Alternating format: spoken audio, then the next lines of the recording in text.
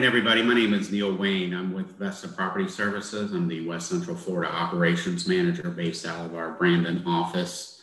Um, today's uh, uh, host uh, is myself and Aaron Silberman. Uh, will be uh, providing you with a nice, uh, some hopefully some educational um, slides going forward. And with that, I will turn it over to Aaron so that we can go ahead and continue.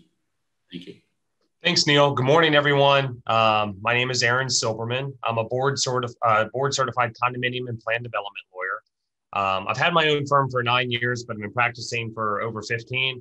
And this is this is what our, our, our firm does. We represent condos and homeowners associations. Uh, we work with um, well over 100 uh, in the Tampa Bay area and focus on all different types of, uh, of, of their, their practices and, and their needs. Um, today, we're going to be talking about something that we do day in and day out, and that's amending governing documents. Um, but before we get started, uh, if you go to the next slide, um, it wouldn't be a presentation from a lawyer unless I gave you a nice disclaimer at the beginning saying that this is not legal advice. I don't have your documents in front of me. Um, uh, most of you uh, on the uh, on this webinar have your own counsel um, if you're on your board, so make sure you bring up questions uh, and thoughts to them. Um, and the governing documents for your community is going to um, greatly impact the analysis when it comes to uh, different amendments that might be available to you. Um, so without further ado, we'll go ahead and get started. Um, so bef before we kind of dive in, it's important to consider the limitations on amendments. Um, federal and state laws do have certain um, aspects to them that would prevent you from amending certain provisions in your documents, such as the Fair Housing Act, federal law, which you, um, I, know a lot of you, if you're on your boards, you're familiar with the emotional assistance animals and how you have to grant reasonable accommodations under the Fair Housing Act, regardless of what your documents say. Um, satellite dishes, there's the Telecommunications Act, which in condos and HOAs, it places limitations on what an, an, HOA uh, or condo is able to restrict in connection with satellite dishes, regardless of what your documents say. And then renewable energy sources. There's a statutory section in Florida, 163.04, which um, does not allow certain um, restrictions to exist within your documents that would um, impede or prohibit certain types of renewable energy sources, including, yes, clotheslines um, that I know a lot of communities uh, a, a deal with. Um, we can go on to the next slide. So first, let's talk about permissive versus mandatory statutes. Because if it's a mandatory statute, you can't necessarily amend around it. But if it's permissive, you can. Um, so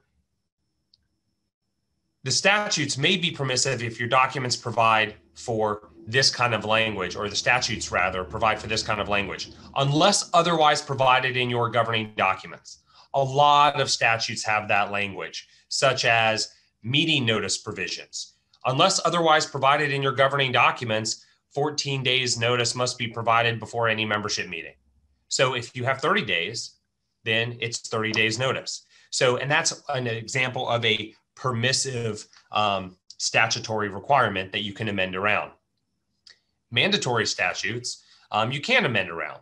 So if you're in a Chapter 718 condo and you want to um, amend around uh, certain election procedures and certain other requirements, there may be things that you cannot necessarily amend out of your documents. Um, and it requires uh, getting with your attorney to go through kind of a, a, detailed analysis of what is okay, what is not okay, um, before you get too deep into the weeds trying to kind of pull things out of your docs or make changes.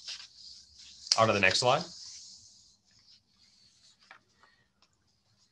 I know this is elementary to, to most folks who are on their board, but within the three types of uh, the three main types of community associations, there are different types of documents. If you're in a condominium, you have a declaration of condominium. You also have articles of incorporation, bylaws, and rules. If you're in a homeowners association, it's typically a declaration of covenants and restrictions. And if you're in a cooperative, it is a proprietary lease and share in the actual corporation. Next slide. And there's a hierarchy among your documents. So if you are a board who likes to adopt a lot of different rules, you can adopt rules if you have the authority to do so. Um, and we'll talk about that later. But you cannot adopt rules that are in conflict with any of the documents above um, above the rules in this chart. So the bylaws are going to control over the rules, the articles control over bylaws and rules, and the declaration controls over everything. Um, and, and that's important to keep in mind when you're doing a large amendment project, or let's say your bylaws have a have an easier amendment procedure. So you want to make certain changes, you can, you just can't be in conflict with the articles or the declaration. Next slide. So this is the statutory default the vast majority, 95, 98% of condominium and HOA documents have an amendment procedure included within them. However, sometimes it was inadvertently um, left out. And if you don't have an amendment procedure in your documents, it requires two thirds of all voting interests to amend. Now, certain things, um, and if you're in a condominium, I'm sure you, you're familiar with this, but amendments affecting certain leasing rights such as the ability to lease or the term of the lease, will only impact those people who consent to it or acquire title to the unit after the effective date. But it's two thirds of all owners or all the voting interests unless your documents provide otherwise. All right, next slide. So when you're talking about amending your your, your declaration, um, you may have a situation where you want to amend one small provision. and that's what you've done over the years, where you have amended one issue here, one issue there. And if you're like some of my clients, you have 15 amendments and trying to figure out what is applicable to what is a whole endeavor because you have to go through 15 different amendments to figure out what is the current state of your governing documents. So there are a lot of different things you can do in connection with amending your declaration. When I have a client who comes to me and they have those 15 amendments, one of the things we'll talk to them about doing is to, to consider amending and restated their, and restating their documents. And what I mean by that is we will take all 15 of those amendments, we will consolidate them into one document, which gives us the starting point, what your documents currently are. Um, so if you have 15 amendments, all those amendments are already part of your declaration. And at that point, we will then amend further from there. So at the end of the process, you're left with one clean document, easy to review, easy to search through. Um, and it makes things worlds easier for not only your existing owners, but new owners um, and potential new owners. Um, one of the other things that we deal with frequently is people want to eliminate a lot of language relating to the developer where it's obsolete. Um, I think uh, over half of most articles of incorporation when it's uh, they're initially filed refer to the developer and the developer officers and directors and they have no applicability anymore so we frequently remove all of the references to the developer um, one of the other things that comes up all the time and a question that it's it's raised is well it's really hard for us to amend because we need 75% of all owners because that's what our documents say. All owners, 75% have to approve an amendment. So we could take a lot of time and a lot of the association's resources in preparing a comprehensive set of amendments only to send it out to the membership and it doesn't get approved. So what we recommend is what we always refer to as a two-step amendment procedure. Let's first amend the amendment procedure let's see if your members are agreeable to making it easier to amend. And let's say you have that 75% uh, requirement for amendments. What we'll suggest is let's say you have 75, let's amend it to say 75% of those that participate where you have a quorum. This helps in a number of different ways. Number one, it doesn't uh, automatically um, cause a failure to vote to become a no, but it also makes it uh, uh, palatable to the owners who say, well, now the board is in charge of everything. And the response to that kind of uh, objection, which we hear all the time, is listen, if 100% of your owners participate, there's no functional change in your amendment procedure. All we are doing is removing the automatic no from certain owners' apathy. And that is is understood by a lot of our clients. You can spend an hour or two in attorney's fees and cost to prepare your proxy and your amendments um, and get that procedure kind of wrapped up before you spend thousands of dollars on comprehensive amendments that may never go anywhere. So that, that's something to keep in mind. Go on to the next slide. So assessments and budgeting. Uh, frequently, whenever we get involved and we're working on um, uh, amendments to the declaration and bylaws, we want to maximize the rights to recover from purchasers in foreclosure. So some documents that were drafted some time ago say that the obligation to pay assessments does not um, does not uh, transfer to anyone who acquires title by foreclosure or deed in lieu of foreclosure. If that language is in your documents, it doesn't matter what the statute says. There have been recent cases that have come out that have said your, your, your governing documents are going to control. So we can help you to remove that kind of language. So if you have a collection um, issue in your community and it does sell uh, and the lender forecloses, then the new owner who takes title, a third party, not the lender, there's limitations on lender liability, but the third party will not um, be able to skirt around the former owner's uh, assessment obligations. Um, additionally, there's amendments that can be done to change the support is this, the superiority of the lien over second mortgages. So the statute provides that first mortgages have first mortgage holders, first uh, lenders have the protection, but not second mortgage holders and third mortgage holders.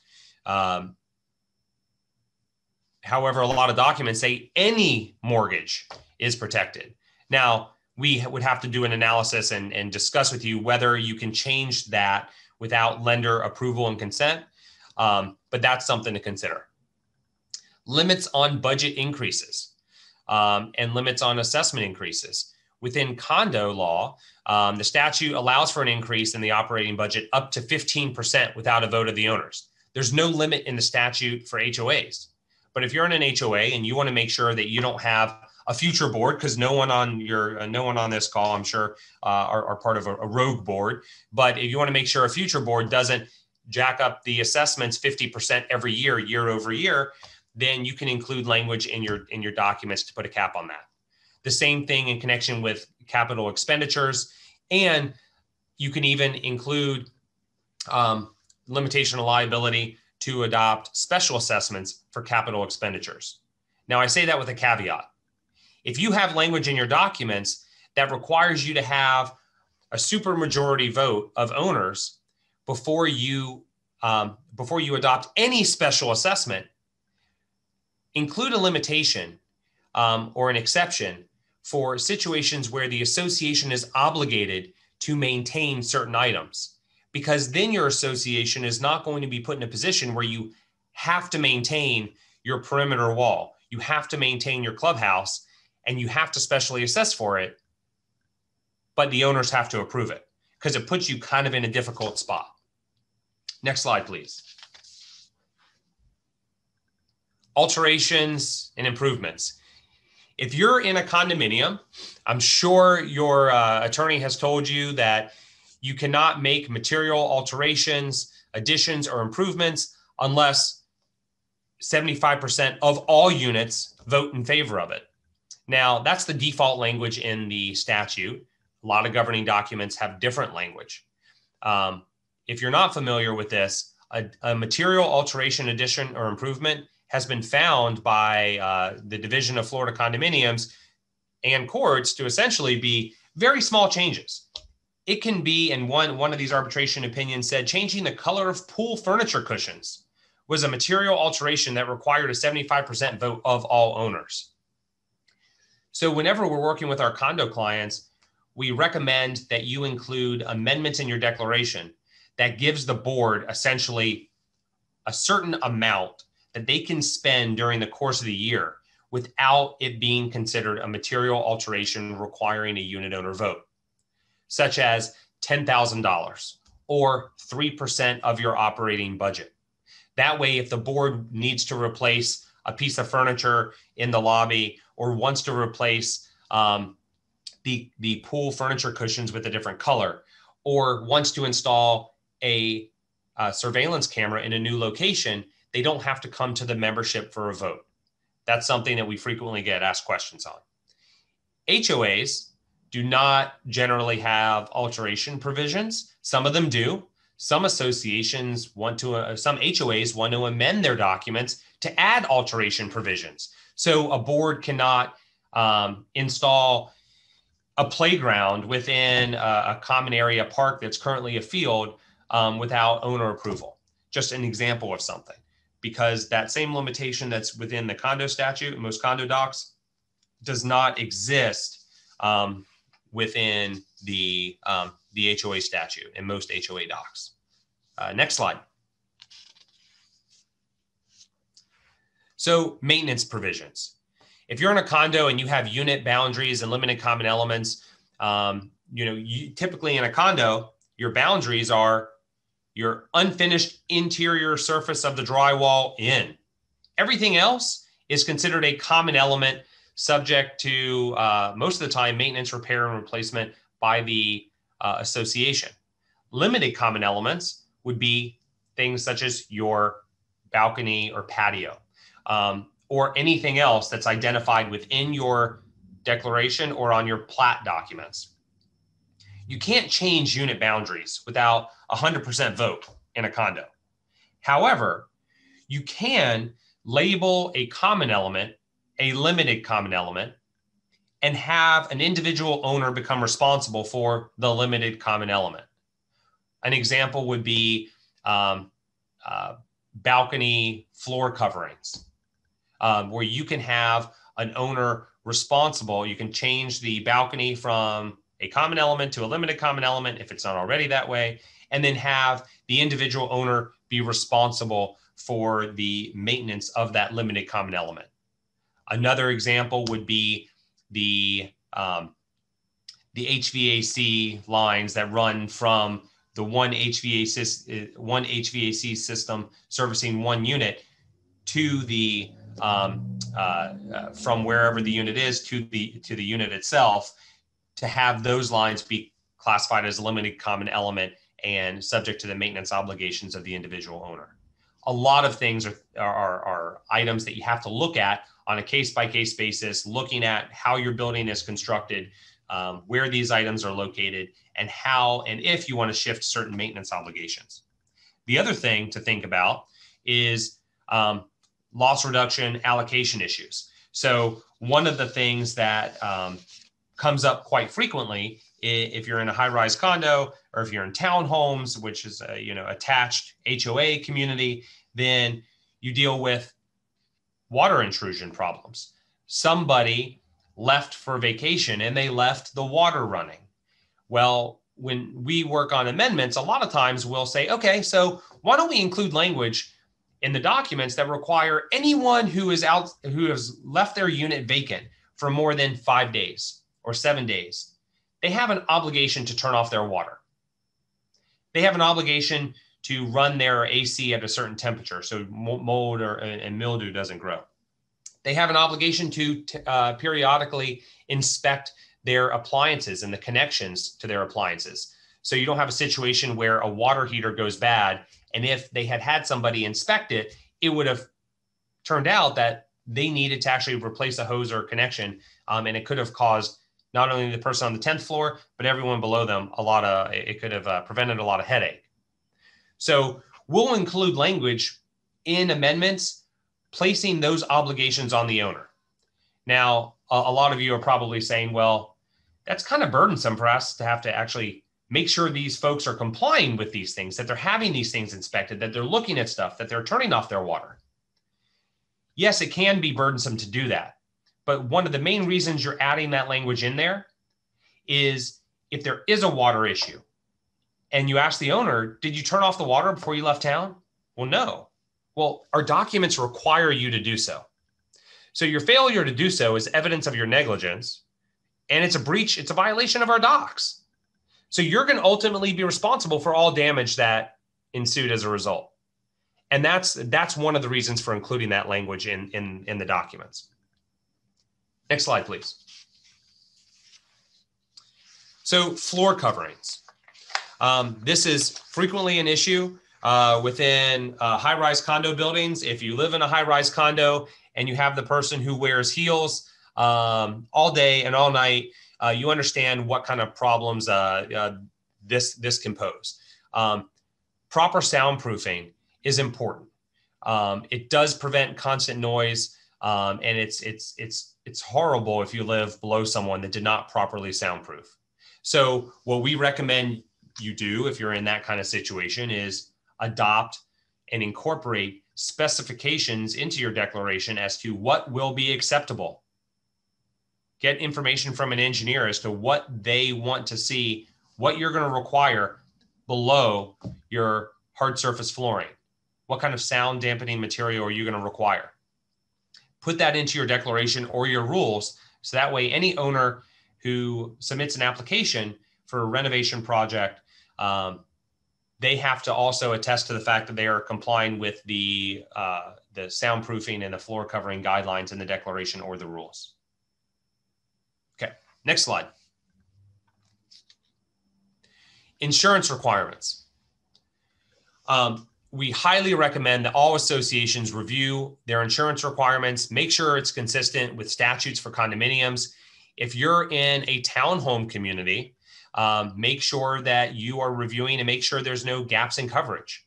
This frequently comes up where you have a townhome, it's a Chapter 720 HOA.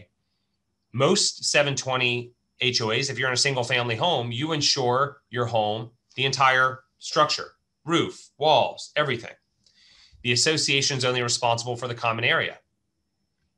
Well, what happens if you have an HOA where a townhome community where owners don't insure that way and the association according to the documents is only responsible for insuring the common areas and there's a casualty event that comes through a lot of owners they'll obtain a condominium policy in a townhome community that only covers essentially the contents and then there's this huge gap of coverage in connection with the structure for any kind of casualty event. So when you are in a, a community, it's important to look at the insurance provisions with not only your attorney, but your insurance professional to make sure you don't have huge gaps in coverage. There's also a lot of language in particularly older um, declarations that require you to have an insurance trustee in place to uh, adjust any claims and manage all claims that, that come in. Well, if you're in a, a situation where you've had to try to deal with that, I, I'd love to I'd love to know if it was easy to find someone, excuse me, to serve as an insurance trustee. Most of my clients that have had that situation, they're they're had to have great difficulty in finding someone to serve as an insurance trustee, like a bank. Um, and two, it's expensive to have to have someone serve as an insurance trustee. So, all that very archaic language regarding an insurance trustee, and for those who don't know what I'm talking about, it's essentially bringing in an independent third party that's not management or the board to essentially adjust the claim, distribute proceeds, et cetera. Um, so, we remove that kind of language from most of the insurance uh, documents that we're that we're working on, uh, the declarations and, and, bylaws, what have you. All right, um, next next slide. Sales and leasing. This comes up all the time. Um, at, at least, if not every day, every other day, I'm answering questions in connection with sales and leasing. If you don't have language in your doc in your declaration that gives you the right to approve or deny a sale or a lease, march forward at, at your own peril. Um, I have some clients that like to include that language or want to include that language in your rules and regulations. I caution them against doing so just because if the owners have not voted in favor of it, it's not subject to this presumption of validity it's more a test of reasonableness um, in Florida law. So if you're gonna, if you don't already have language in your documents regarding sales and, and leases, then you really should not be incorporating any kind of uh, restrictions in your in your uh, in your rules. Now, if you have the right in your declaration, it says the association has the right to uh, uh screen uh, potential renters and purchasers subject to rules adopted by the board. Well, then the board could, can adopt rules. It would be better suited as a declaration amendment to spell it all out we we recommend highly that you include specific grounds to disapprove a potential purchaser or renter. Um, I know that a lot of old documents have language which may say any uh, anyone convicted of a felony is disqualified from renting or purchasing within our community.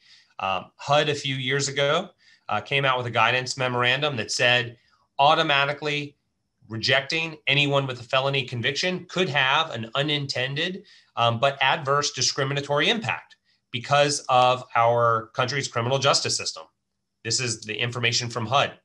So HUD said what you need to do instead is embark on a case by case analysis. So someone that was convicted of a felony in the 70s for possessing marijuana may not, uh, the association should potentially not exclude them if they have a clean record since from uh, renting within your community, but someone who has an aggravated assault conviction um, more recently, that's someone who you probably want to exclude, provided you have the grounds to keep them out. So you need to evaluate um, whether the health, safety, or welfare of uh, members within the community or occupants in the community would be impacted by such individual. And, and this is all part of this amendment process.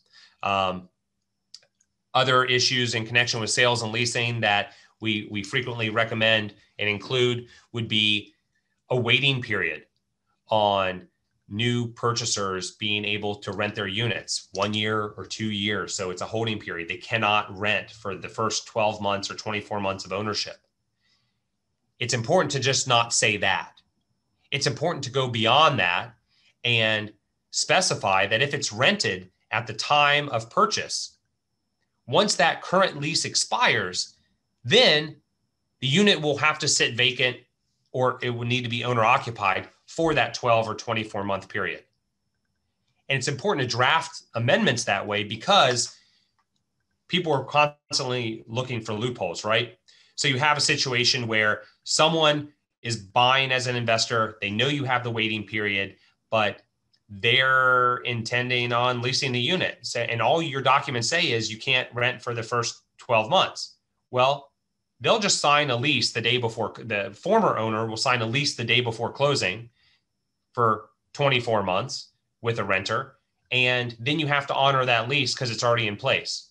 Once that 24 month lease expires, there's no holding period. The investor has been able to essentially get around your restrictions uh, and rent the entire time.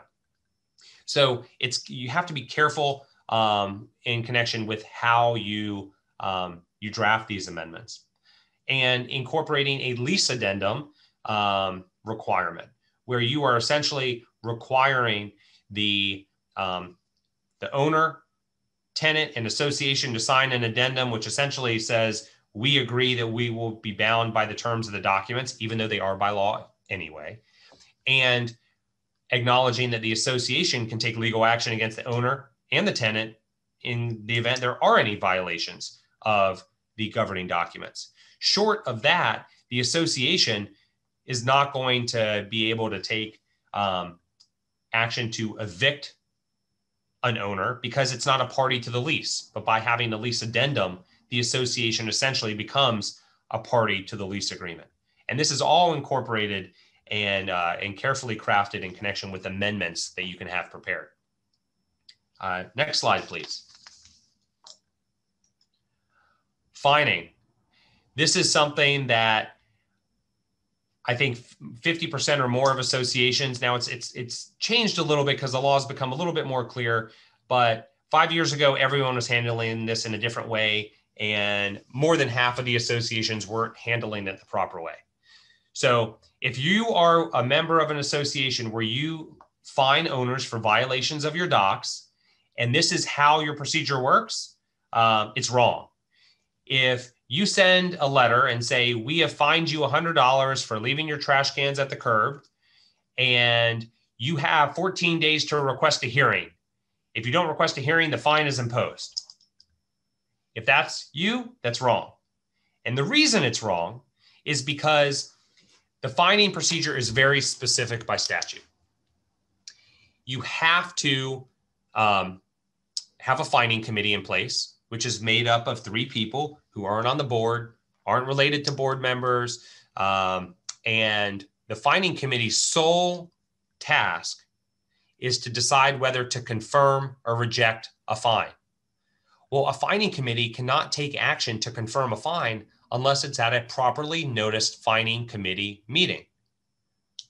So, what you have to do is you have to provide a letter to the owner saying the fining committee meeting is scheduled for X date, at least 14 days from now, and give that person an opportunity to appear. If they don't appear, that's fine.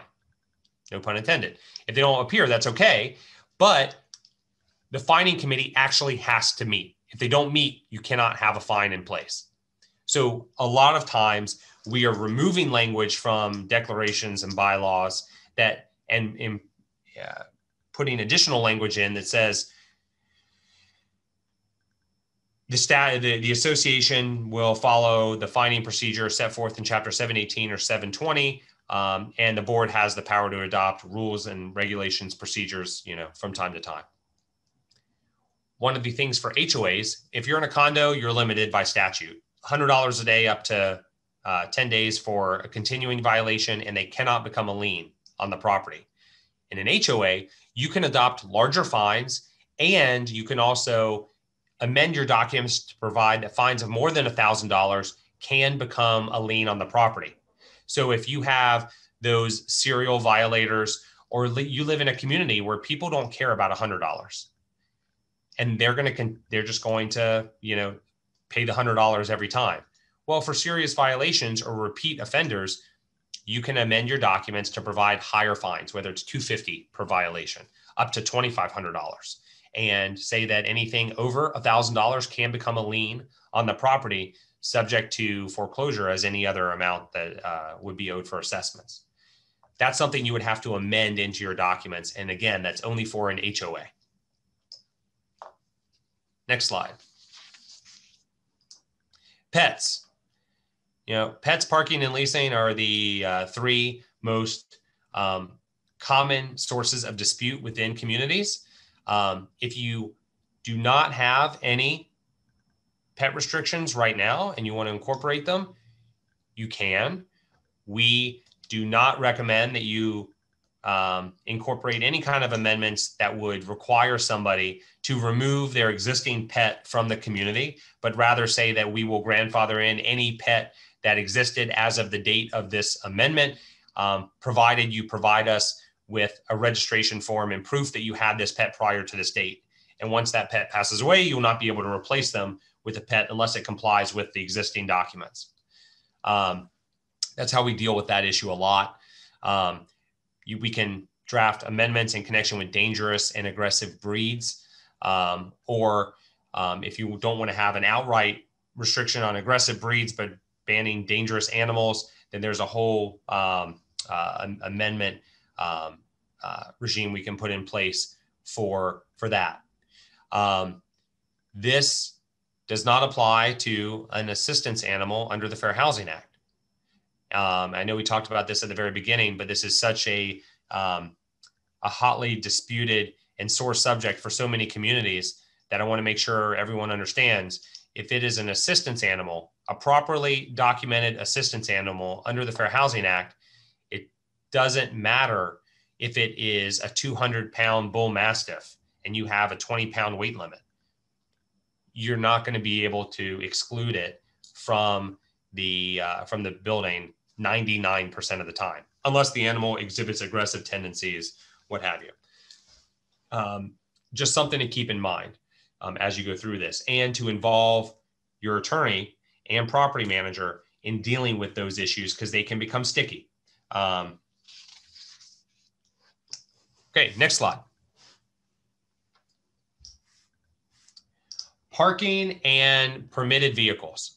So, uh, in a lot of condos, a lot of HOAs, um, people do not want to see the commercial vehicles um, with the commercial lettering or the ladders on the outside of the vehicle or or anything else that would be you know large oversized etc well you need to include the specific language in your documents. If you have language that just says commercial vehicles it may not be good enough. Now you could explain commercial vehicles in your rules but that would be a rule amendment but you should define the vehicle by the exterior appearance not just the primary use so if you're going to have someone who has, um, uh, you know, a standard size sedan and they have lettering on the back of the car on the window, is that something you want to exclude? Or, or what are you really aiming at? Are you aiming at the large oversized vehicles where um, it either won't fit into parking spaces um, if you have a tight parking lot, or um, the ma- vast majority of your community doesn't like the look of it? Um, in connection with parking, it in your if you're in a condo um, and you have parking spaces that are limited common elements, and it specifies that in your declaration, you cannot have owners willy nilly exchanging, selling parking spaces unless your declaration specifically allows the exchange of limited common element parking spaces. A limited common element, by definition, is something that is appurtenant to the unit means it attaches to. So when you sell a unit, the parking space travels with it. Unless your documents provide a vehicle um, by which you can exchange or um, reassign those limited common element parking spaces.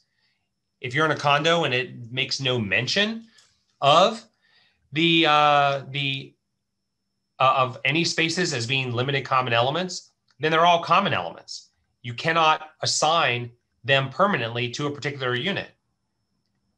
You can grant owners in certain situations exclusive, uh, not exclusive rights, but assign exclusive rights to use while they're the owner. But the association can reassign those spaces um, at will. It's important to also be specific on prohibited vehicles and other stored items outside of a garage. So if you don't want motorcycles, boats, what have you in an HOA outside of a garage, you need to say that in your documents. If you want them obscured from view, um, say that. If you don't want them parked in the backyard where somebody just opens up the fence, pulls it back there, and fine, it's not parked in the front of the house, but you have, um, you know, the the tuna tower going up above, high above the the roof line of the house. If it's not in your documents, it's not prohibited. Um, and then it's also important to talk about temporary parking of boats and RVs, particularly in an HOA, because people are going to come to load up an RV before they utilize it, or they're going to load up a boat when it's trailered before they take it on a trip. Um, so if you don't want that at all within your community, it needs to be specified. But most HOAs are reasonable in saying that you can, you're allowed to have it for loading or unloading no more than 12 hours or no more than 24 hours, et cetera. And that's something that should be addressed in your uh, declaration, um, in the use restrictions, or in uh, rules and regulations. Next slide. Architectural control, um, particularly um, problematic with respect to HOAs. The ARC, the ACC, the DRC, whatever um, uh, three letter combination your community uses, it has to be handled in the same manner as a board meeting. You need to make sure you need to address if there is, is going to be a right to uh, appeal um, those those uh, those decisions, and associations should be really careful with authority provided to committees, specifically an ARC committee, because if you give the ARC committee sole authority, and your documents give the ARC uh, committee sole authority to publish and develop guidelines and then approve or reject applications. What happens when the guidelines aren't reasonable? because the ARC is not necessarily going to have access to the association's attorney and having it reviewed by counsel. Um, and when the application is rejected, the association's manager and or attorney or board is the one who gets served with a demand letter from the owner's attorney uh, and the board then has to deal with it. So frequently what we recommend is the board functions as the arc because unless your documents prohibit it the board and the arc can be one and the same.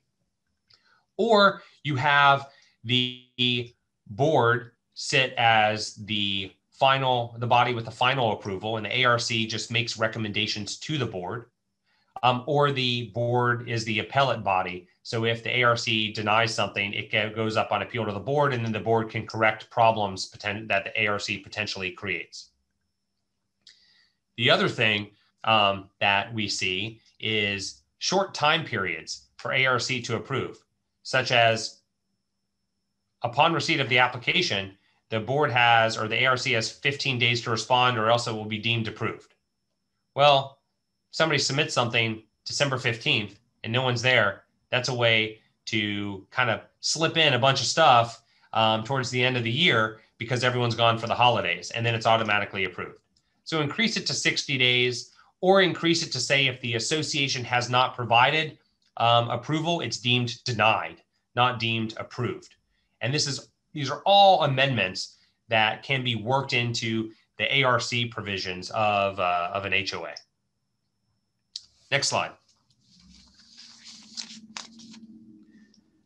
Clear authority for rules and regulations. For um, HOAs and condos, there's frequently language that deal with rules that it's not clear as to whether it applies to common areas or common elements or lots or units it'll say that the association has the uh, power to adopt rules and regulations governing the use of the common elements. Well, does if it doesn't say units, you may want to add that language just as a belt and suspenders type of approach to give the association the authority. The other issue that we frequently see come up, and typically it's not your declaration will have language regarding rules that the board has the ability to adopt rules and regulations. And then buried in the articles of incorporation it'll say the, the board has the power to adopt rules and regulations subject to the approval of two thirds of all members. So, as part of a comprehensive review, if you have language that would require the membership to approve rules and regulations, you may want to remove that. Um, and if you don't want to completely remove it, we've done this a number of times where the board has the power to adopt the rules. And then after the rules are adopted, a majority of all members can uh, petition the association to strike down a rule. So that way it doesn't prevent the board from implementing something, but if, if it's important to enough members, they can strike something down. Um, and that's something that we've seen and worked with clients on. Next slide. Age restrictions. Unless you're an HFOP, which um, is a housing for older persons, such as a 55 and up or 65 and up community. If you have any language restricting age within your governing documents, it's a violation of the Fair Housing Act. Um, which brings us to a really important point about D&O coverage. Whenever you are renewing your insurance policies, this is a question all of you should ask of your insurance agent and property managers is do we have broad form insurance coverage that includes claims for violation of the Civil Rights Act? And the reason the Civil Rights Act is important is because the Fair Housing Act was born out of the Civil Rights Act, and that is what it incorporates. So if you have an owner, and this goes back to the Fair Housing Act with assistance animals or for uh, denying people with felony convictions, all of those things it's really easy for an owner to file a complaint against an association for violation of the Fair Housing Act. Once that happens, it become can become quite expensive and sometimes the attorney's fees and costs are more expensive than any kind of damages or corrective measure the association would need to take. If you have this broad form insurance coverage, then you should have coverage for the defense that would be necessary, the attorney's fees that would be necessary to defend against those kind of claims. Um, and that's really important. So make sure um, you talk to your insurance agent and property manager about those issues. Next slide. Okay, HOA issues. I know we talked a lot about different condo related matters, um, but uh, 72303, when you're dealing with HOA reserves, condos, it's very detailed, very specific. HOAs, it's very, it's, it's um, a lot of if this, but that, maybe this, then that within the statute relating to an HOA's obligation to fund reserves. So we can incorporate amendments into your documents that specify what the association's specific obligations are with respect to uh, reserves for capital expenditures and deferred maintenance. We can also, um, as we discussed before, put limitations on increases in budget um, and adoption of special assessments in HOA documents. Elections are one of the um, primary things that HOA bylaws need to be amended to address because frequently you're in an HOA and they've been doing the condo style election. They come to me, they say, Well, we've been doing this for years the two uh, ballot envelope system, um, you know, a secret ballot. Well, what do your documents say? Well, the documents just say we have to have an election um, and um, that nominations are permitted from the floor. Well, then you've been doing everything wrong. The HOA, um, the reference to HOA elections in Chapter 720 says you have to conduct elections pursuant to the governing documents. So if the governing documents say you meet at high noon and draw straws to figure out who gets on the board, which I know for some of you may feel like you're you drawing the short straw by being on the board, but um, that's what you have to do. So we frequently work with associations to amend the election procedures. So maybe you don't permit nominations from the floor. The benefit of not permitting nominations from the floor, which you have to do unless your governing documents have a specific procedure for nominations in advance. 720 says if you have a specific procedure for nominations in advance, you don't need to permit nominations from the floor at the meeting. That's really important nowadays with all these Zoom meetings. If you're in an HOA and it has been very difficult for you to have an annual meeting and an election because you are your board doesn't want to get together in person, your members don't want to get together in person, and your documents require a secret ballot. How are you going to do a secret ballot on Zoom?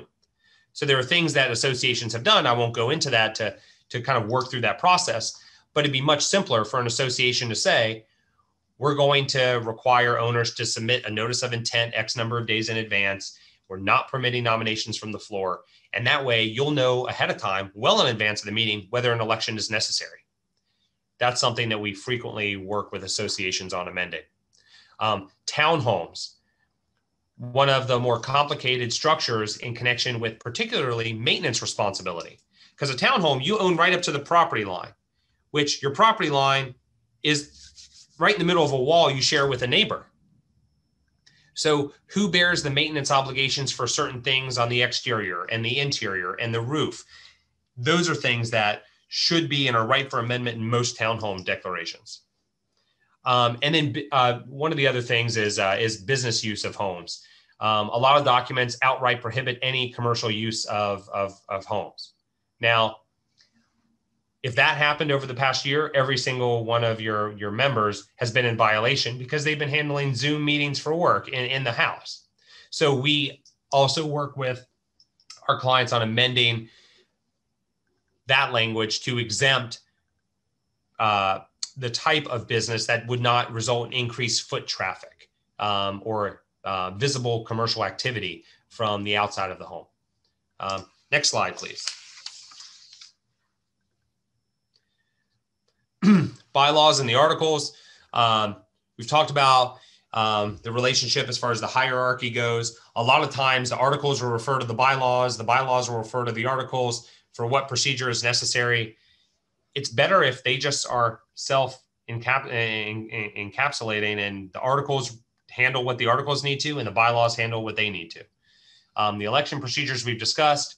Um, if you want to have continuity on the board, uh, you can amend your documents to provide for staggered terms of office where everyone's term doesn't uh, expire on the same year.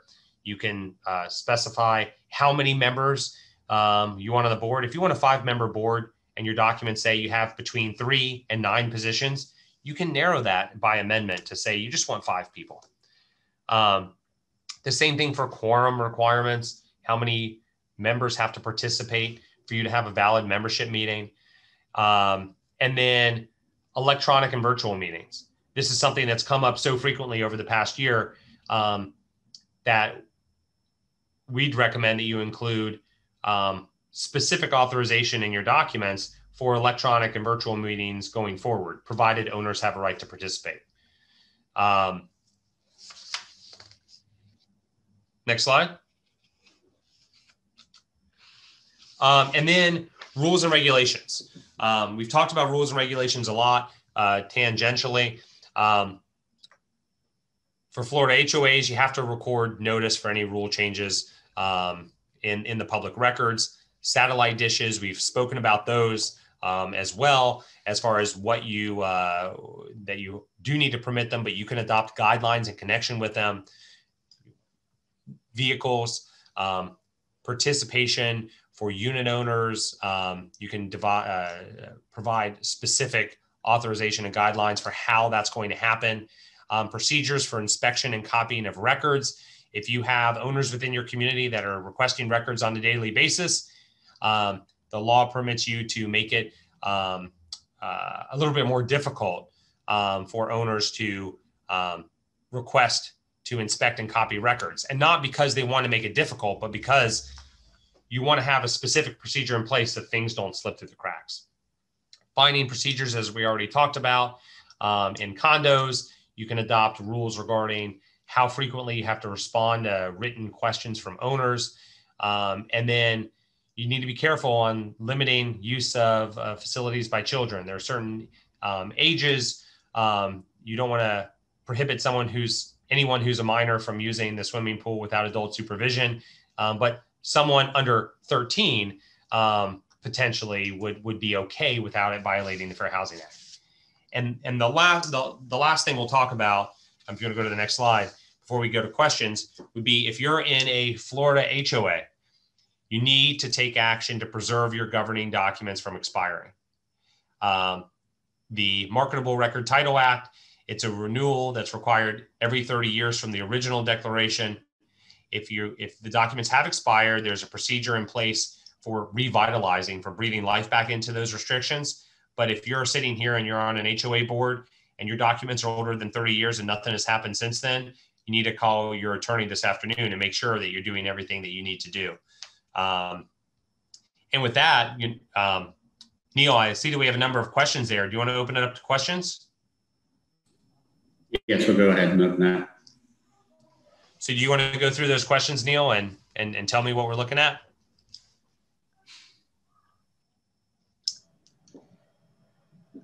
I can go ahead and, and answer um, or ask a couple of questions. Um, so the first one is from Cynthia. Can you amend your docs to no smoking and common walkways and area? Um, it's been a frequent uh, question that has come up um, in recent years. And I have a lot of clients that have inquired, and if they're not in the process of, they're uh, strongly considering amending to um, limit and or restrict smoking in common elements and and you know balconies, uh, things along those lines. But yes, you can if you have a pool area um, and you don't want folks smoking in and around the pool area, you want to have a designated smoking area, you can. That's okay. Okay, and our next question, we've got um, can you have Aaron explain the apathy factor, how the two-step amendment process for the first amendment is a vote on percentage? Yeah, so what I meant by apathy is you have people just don't participate. So the first step of getting owners to approve the amendment to the amendment procedure is going to be challenging. You're going to have to go door to door sometimes. You're going to have to call people. You're going to have to politic to get it done. You may have to continue your meeting where you show up to the scheduled meeting. You don't have the requisite number of, of people who have submitted proxies. So you announce at the meeting, we're going to continue this meeting to another specific date and time where we, so we can uh, obtain some, some more proxies from folks. Um, so we can um, uh, try to get this passed. but you, at that point, your monetary investment is a lot less. You have not invested significant resources into amending the documents. So that's what I mean by the two step factor. After you've done that, then the apathy shouldn't be an issue. Then um, future amendments, um, it'll just be those that participate.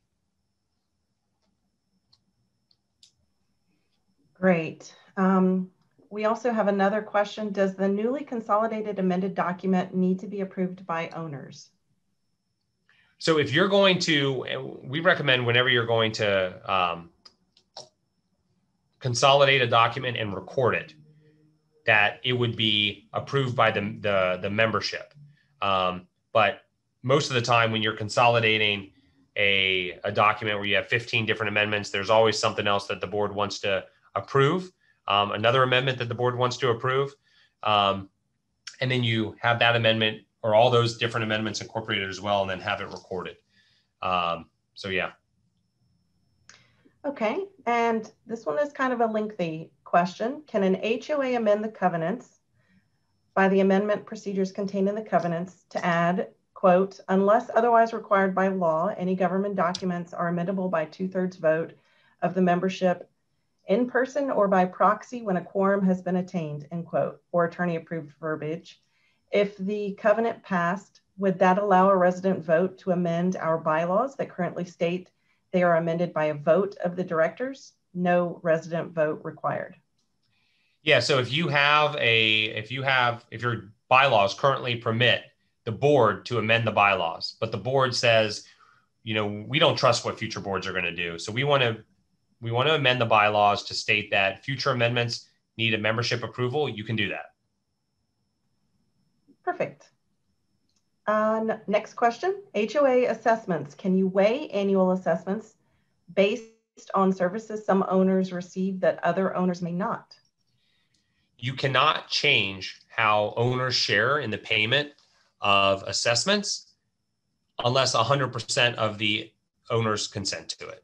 So if you have specific language in your documents and this is how your owners are supposed to share in things, but you know it hasn't been equitable over time, if your documents are set up that way, unless 100% of your owners vote in favor of it, you can't do that. Uh, Neil, this one is directed to you. Um, does Vesta have a set of documents for condos that incorporate most of what is discussed here today, um, like a gold standard? How would we get a copy of these?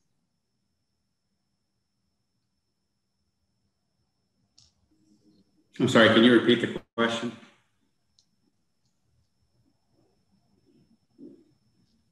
Mr. Franklin asks, uh, does Vesta have a set of documents for condos that incorporate most of what is discussed here today, like a gold standard? How would we get a copy of these?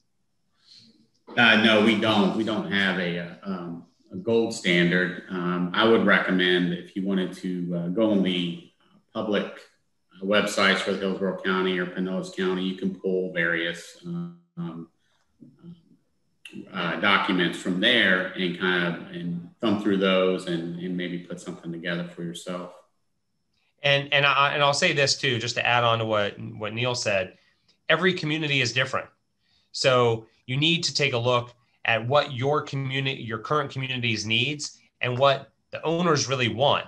So some of these things can be translated to a lot of different uh, communities. Um, but as far as being gold standard, even if you start from you know a quote unquote form document that you've used in the past, there's so many changes by the time you're to something that is finalized. Um, so there isn't any quote unquote gold standard. Um, nor do I think uh, Vesta would, you know, they, they may say, oh, here's another client that we work with. Here, here's their documents, but there, I, I doubt that they're going to pull together documents to provide to you and say, here's something you can start working from. Um, and this is, you know, kind of our form because everything is so different. We have another question here uh, that asks, we have language in our declarations and rules about approval and right of first refusal. However, local realtors frequently ignore these rules and do not notify the association of an offer to purchase. Do you have any suggestions? Um, yeah, so it depends on the language in your documents. Um, this is something where you can actually, if, if you have language in your documents that say any sale is is void or voidable if you don't follow through with these procedures, once you get that that information from the um, depending on the language in your docs, and I encourage you to talk to your own counsel. But once you get an estoppel letter um, requesting an estoppel certificate, it requires you to provide information such as there is a right of first refusal and they haven't complied. Um, that's a way to deal with it. If the sale has closed and there was no estoppel certificate requested, the association could take legal action against the former and new owner.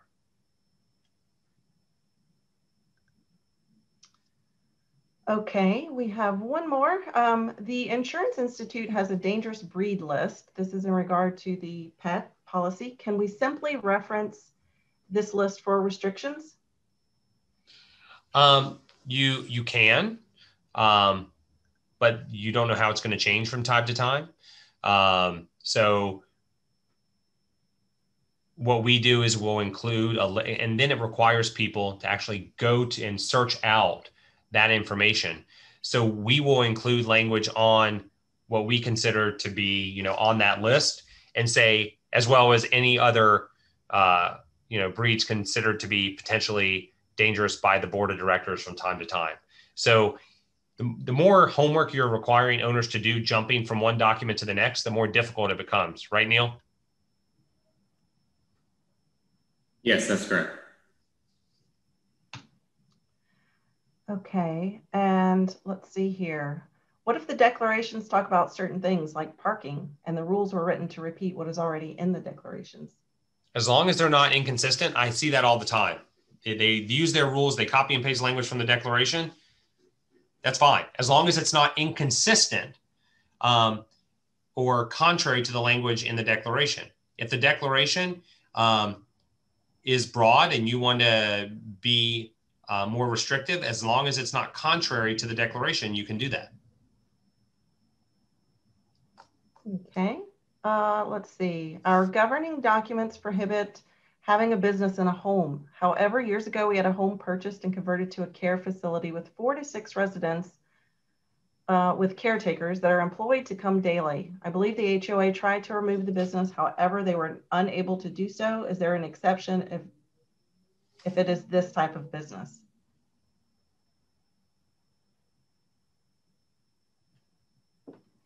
Um, there, there could potentially be an exception to that business. That's the kind of thing that I'd uh, encourage you to speak to your current counsel about, and depends on the language in your docs um, and you know county code um, and and and other things. Uh, can you can you speak to the Kaufman language as amended from time to time. Why should we have this in our documents? Are there any reason not to add it to our documents? Right now, our association is operating on laws passed before 2004. Yeah, so the Kaufman language for everyone uh, uh, on the call, there was a, a, case by the name Kaufman was one of the parties, and the uh, court said that if you wanted to incorporate statutory changes into the future, you include language that says chapter 720 or chapter 718 means the Florida Condominium Act and as it may be amended from time to time. What that does is as the statute changes over the years, you're incorporating the changes to the statute into your documents and you're not kind of locked in place. Um, it depends as far as whether you want to include it. Um, the, the risk of including it is if the legislature adds something to your documents that you don't want um, in the future, um, then it could potentially be problematic. Um, we're talking about substantive changes, not procedural changes. Um, but it does have some benefits to the community, um, such as you know the safe harbor changes um, within uh, w- within uh, assessment collection uh, matters and and, and things uh, along the similar lines. So most of my clients do want to incorporate it because it makes it easier moving forward to um, to benefit from changes in the laws. Um, some associations are, are, are, wary of it, but those, those, those are few. Okay. If our master HOA has made comprehensive amendments regarding leasing, vehicle restriction, restrictions, parking, etc. Can we include those as a reference only in our docs or must we state them in ours as well? If, if your master association, so if your owners, your owners, your members are responsible for adhering to the use restrictions of the master community, then you don't have to restate them in your docs, but you can. Um, to make it easier for your your membership. But that would if you're going to add something in, it would need to be approved just like any other amendment. Okay, and just a, a couple more because I know we're running out of time here. Uh, we have a CDD and an HOA. CDD controls common areas. How does HOA enforce the CDD to keep up the common areas as the way HOA enforces a homeowner? Should the CDD be responsible for easement maintenance between road and sidewalk, the first 10 feet from the road? All of that is going to be subject to the CDD documents and it's an individualized analysis. So if you have a CDD and they're not doing what they should be doing based on, on the documents and their requirements, then that's a question you should definitely talk to your counsel about because you're paying for those things um, as, as part of uh, your, your, your fees to the CDD. Okay, can a landlord's prohibition of pets in a unit be trumped by a tenant's claim of a properly authorized service or support animal? So if the it, that's an issue between the, the the landlord and the tenant, right? So if you allow pets within your building and the individual owner does not want to permit pets, that's an issue that they will have to deal with uh, on their own. Um, the only thing the association should be concerned with should, would be whether the association is required to permit an accommodation, which would be an exception to its own restrictions and rules.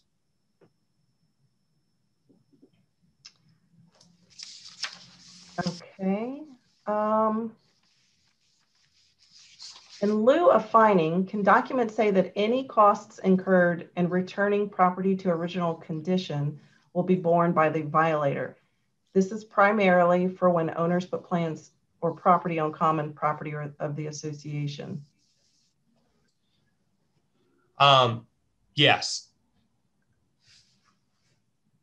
Can you hear me? Yes.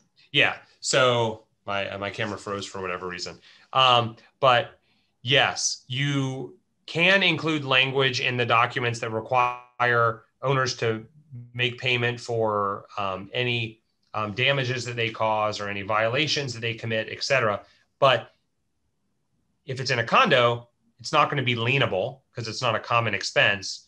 Um, if it's in an HOA, you can uh, amend your documents if it's not already there to make it as a specific assessment, uh, accessible only against that one unit, and it could be lienable. Um, Okay, and one more. If we have very old docs, can we view docs from another condo association online and incorporate those, essentially change the name, or do we have to go online line by line in old docs? Um, if you're if you have very old docs and you want to completely rewrite the documents, um, there are certain things you can't change, right? So you cannot change the unit boundaries in a condo. You you can't change how people share in the payment of expenses. Um, so if you're going to completely scrap everything and start fresh, you can do that for most of it and then put at the top instead of doing the underlines and strike throughs, um, put at the top that these uh, the amendment uh, the amendments have are a substantial rewording of the current documents. See current documents for uh, existing text, but you can't just automatically um, you can't just automatically uh, wipe out everything because there are certain things that can't be changed without 100% approval. Okay, and I've got one more for you, Aaron, if you have time. Um, and this is kind of going back to the, the governing document um, change question.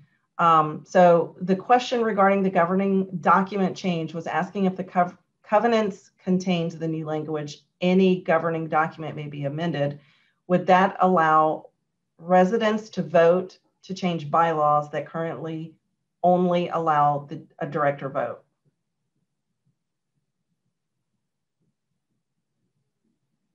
Did we lose Aaron?